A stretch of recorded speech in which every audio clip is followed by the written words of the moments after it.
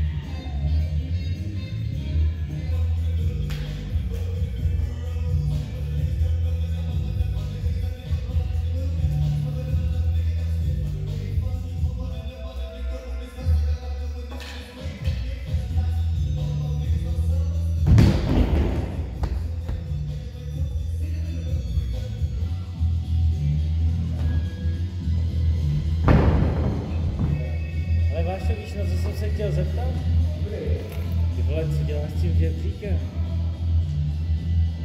Jako hodický výčetřík. To jako prohazuješ nějak? Nebo? Ne, potom lezeš nahoru, ale nemáš to učení.